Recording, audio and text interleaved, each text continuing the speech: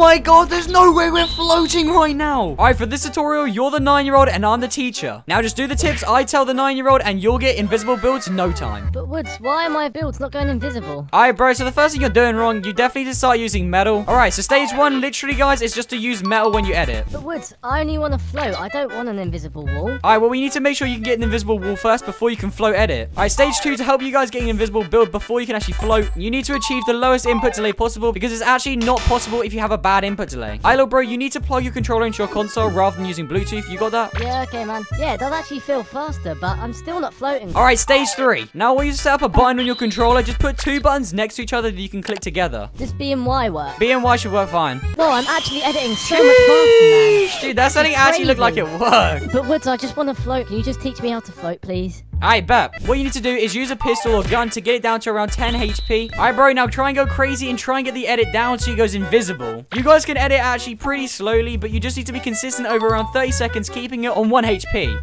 Sheesh, dude. All right, go, go, go, go. Quickly, get up there, bro. Get up on top of that build. Try and make the floor invisible like you made the wall here. Sheesh, bro. Go crazy. As you guys can see, basically, he just made the weak wall go invisible. Make sure it's under 50 HP, and then it will stay invisible, and you can do your float edit on top. Yo, this is crazy, man. I'm literally floating. Hey, bro, I told you could do it. And any of you guys watching right now can do this at home. Quickly drop a like and subscribe for more straight to the point videos.